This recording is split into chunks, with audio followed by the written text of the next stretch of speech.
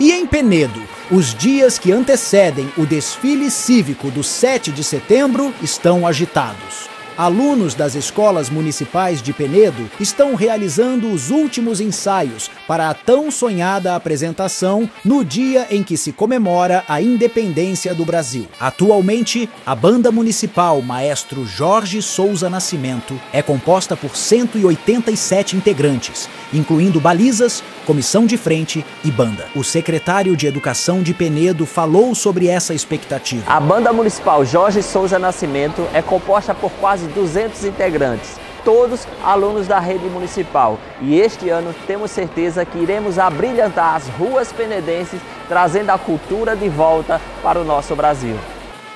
Já o maestro Cláudio Júnior enfatizou os trabalhos e investimentos que a gestão vem realizando em prol dos estudantes.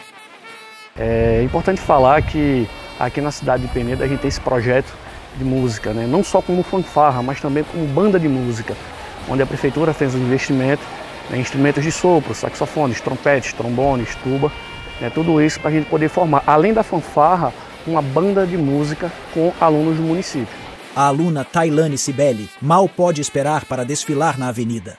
Estou aqui para falar o quanto é gratificante para mim participar dessa banda. Né? Eu e todas as minhas amigas estamos aqui para brilhantar mais o dia 7 de setembro. E para mim está sendo um sonho realizado participar dessa banda. E é isso, aguardem o dia 7.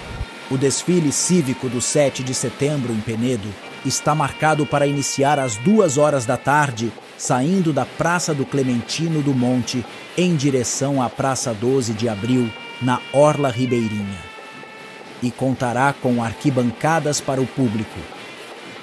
Além disso, todo o desfile será transmitido ao vivo no YouTube da Prefeitura de Penedo. Essa é a nossa banda Jorge Souza Nascimento. Ela é